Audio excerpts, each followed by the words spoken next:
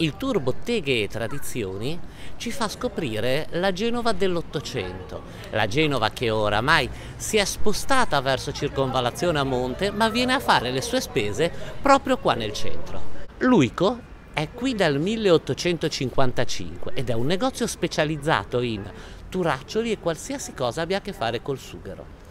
È interessante pensare che sia rimasta questa attività che non è legata soltanto ai tappi, come potremmo pensare noi, ma nell'Ottocento il sughero era praticamente l'equivalente di quello che oggi potrebbe essere la plastica o la gomma. I marinai venivano sempre qua per trovare tutte le imbottiture, per sistemare le navi chi recitava a teatro usava il sughero per tutti gli attrezzi di cena ed è per questo che da lui sono passati prima Garibaldi e poi anche Gilberto Govi che aveva bisogno delle piccole cose da sistemare in scena come dei polli finti, delle bottiglie.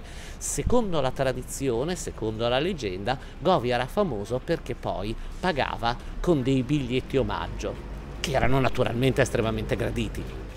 Il negozio eh, è stato aperto, è sempre stato in questa sede, è stato aperto dal mio bisnonno e con mia figlia siamo arrivati alla quinta generazione. Questa è una coscia di pollo non commestibile.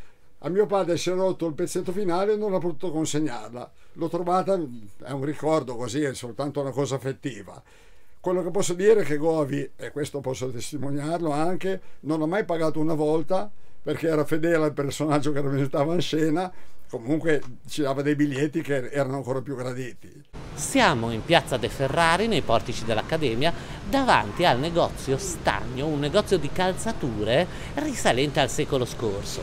È interessante in quest'area tra piazza De Ferrari e via Roma vedere alcuni dei negozi più lussuosi nati tra l'8 e il 900, tutti caratterizzati da questa particolare forma delle vetrine con una curva a invito che all'epoca era un segno di grande distinzione perché i macchinari riuscivano a farlo con difficoltà ed erano vetri che costavano una cifra piuttosto significativa.